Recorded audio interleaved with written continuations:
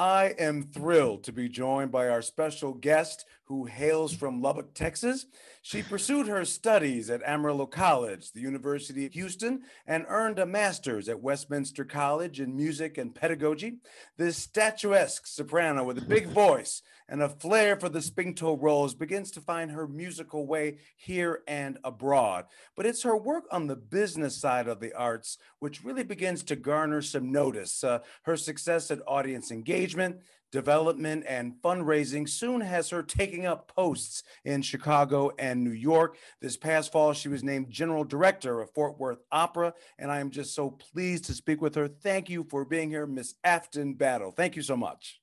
Wow, thank you so much for having me. That introduction makes me want to break out a, a score and start singing again. All right. Well, well, we'll have we'll have just talk for right now. I'm sure you can give us your O Patria Mia maybe at the end. Uh, so I guess my first question, as I always ask folks, um, is how and when did you get the opera bug? I got the opera bug later in life. I was about 18 or 19. Um, Mila Gibson, who was my voice teacher, my first voice teacher, mm-hmm. uh, she discovered me uh, at a Miss Juneteenth pageant. Um, and so I started taking lessons with her, and she took us to a NATS competition in North Texas. And we went to the opera to see Tosca, uh, no, Traviata. And uh, we are at the theater, and it was my first opera that I'd seen live. And it was beautiful and it was so emotional. And I know my husband's probably like tired of hearing this story, and he can hear me in the other room. But anyway, so we're at the opera, and it's beautiful and it's emotional and it's just nothing like I'd ever experienced before. And we're in the final act and Flora gets she uh, gets her last breath of you know excitement and air about her and she twirls around and then she falls like dead on the ground you know and she it's that you know famous scene uh, oh joy and then she turns around flails around and then falls on the ground and at that moment i thought i have to do this like, this is completely exactly what in my life I should be doing. And it was then, it was then and there. I, I kind of got bitten by the bug. Before that, I was really not taking it too seriously. And then at that point, I was like, eh, this is it. I went to school when we got back to Amarillo and changed my major wow. from business to vocal performance. Wow. Now I know your father was uh, was a minister, correct? Mm-hmm. Had you found your voice at church? Were you employed? You know, were you pulled in to you know, sing this and sing that all the time? Oh, absolutely. Uh, my dad is a minister my grandfather was a minister so i grew up singing in church and grew up at uh, you know all of the the revivals and the the church choir rehearsals and all of that so i guess you could say like i found my voice in the church choir uh, i think everyone has a voice in the church choir whether it mm. fits mm. in or not um, but most definitely uh, grew up singing in church from my grandfather to my father here and all in between. Got you. Now, last fall, I mentioned, of course, you were named general director uh, at, at, Fort Worth Opera, a company with a, a history, 75 years nearly. Uh, I was aware of that history even back when I was in high school. Uh, I would read about, you know, Lily Pons and Beverly Sills and Placido Domingo who would make performances there. What does this appointment mean for you personally, and what uh, will it mean and does it mean for Fort Worth? Wow, personally, it's really his I mean historic and truly legendary and it's very big. It's it's it's bigger than I am actually. Um, and so for me it it is things that I never knew that I wanted, you know, if that makes any sense. You know, I'd been trying to get into nonprofit and arts management and in opera for so long and i was just really focused on you know development because that's where my background is i never once ever thought that i wanted to be or could be a general director so for me it is it is the dreams of my ancestors mm-hmm. um, and that's why i say is much bigger than me um, but for me, also in that same vein, personally, it is a huge achievement and it is the culmination of everything that I think is the good and the best of myself. You know, the good of having learned what I've learned as an arts administrator, and the best of having been a singer and having you know sung on stages and done the whole rehearsal thing and knowing opera and the classical art form as well as i do um, you know just coming together in almost uh, a perfect harmony. Um, for fort worth and the people of fort worth i think that this appointment means and signifies change.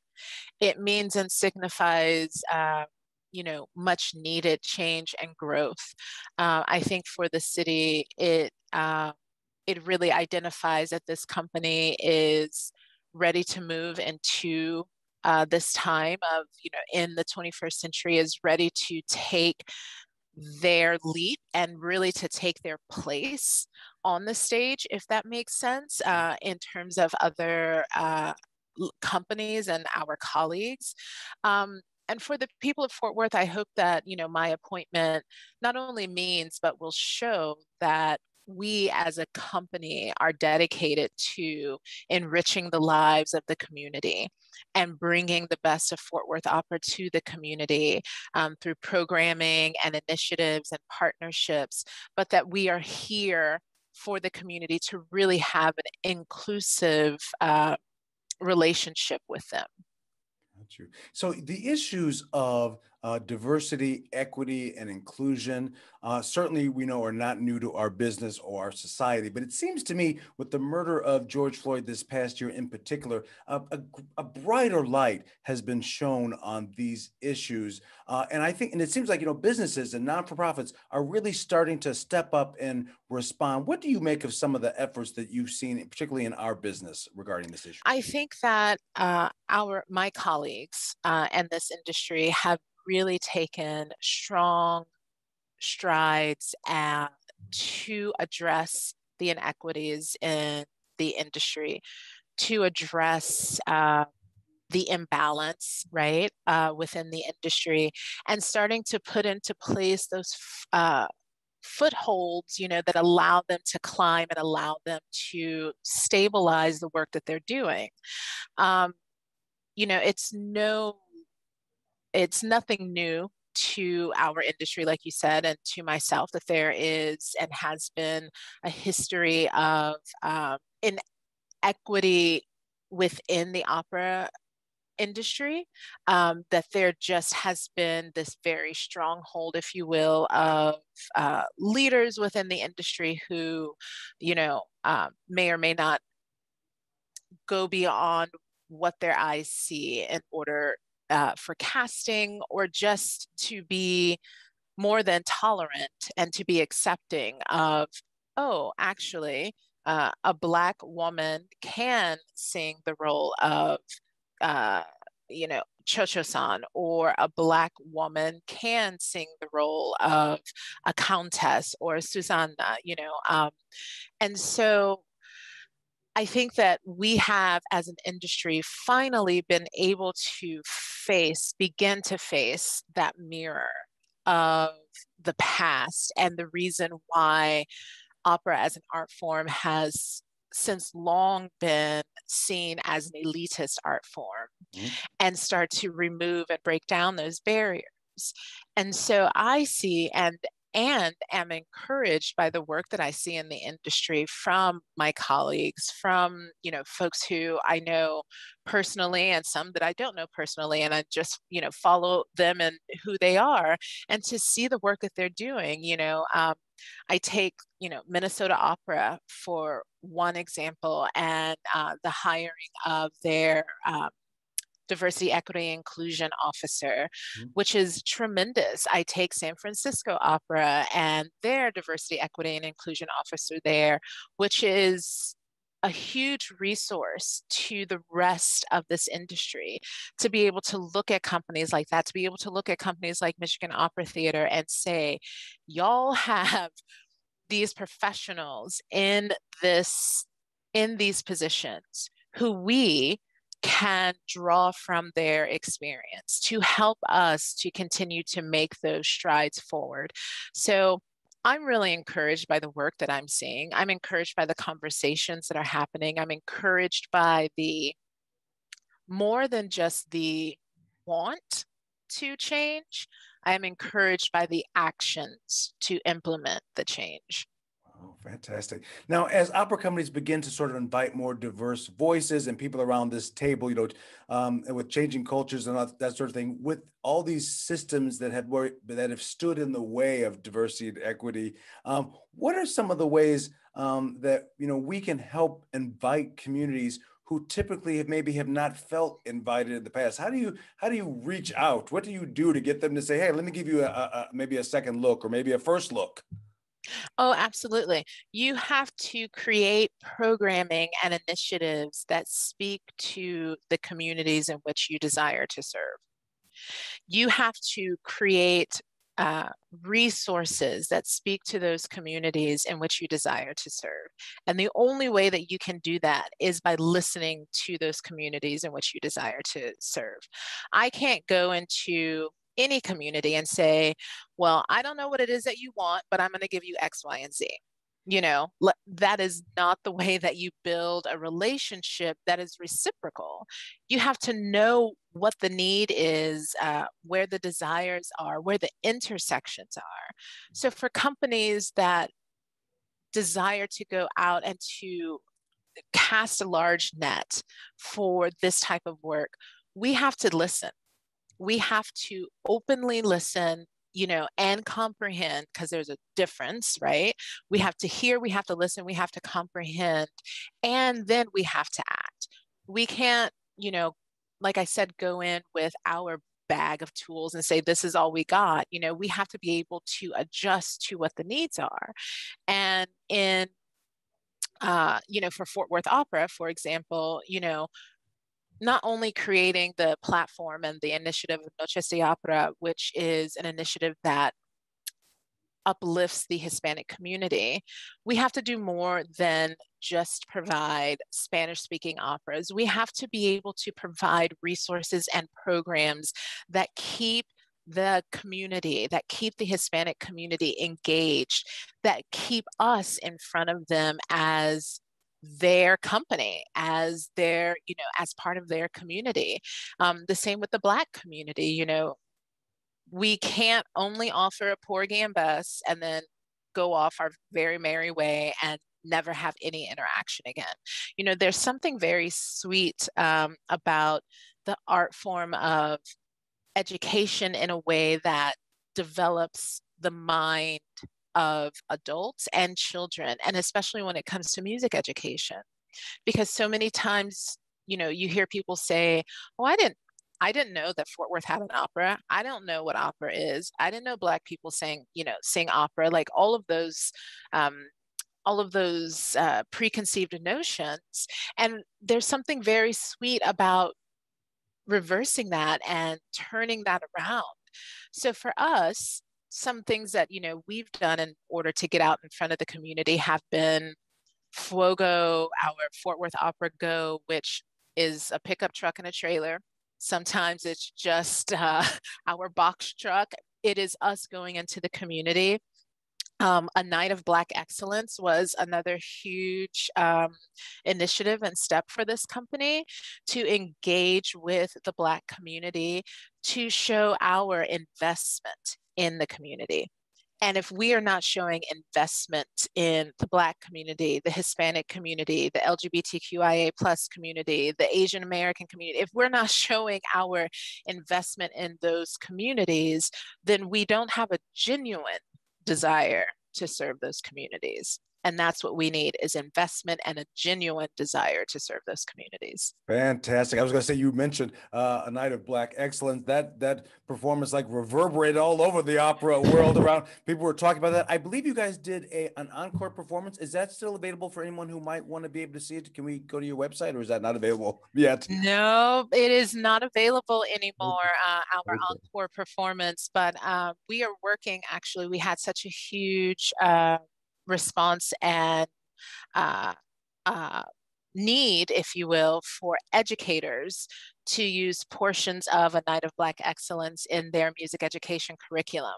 So we are working to pare down uh, all two hours and 10 minutes mm-hmm. into a more digestible uh, period, you know, for most classes to offer that to music music educators as part of their music education curriculum, in addition to uh, a curriculum that we are building. Because the the wonderful thing about a night of Black excellence was, yes, we did it during Black History Month and in celebration of Black arts and culture and artisans. But as some of our panel said, you know, Black history is every day and it is not just a month.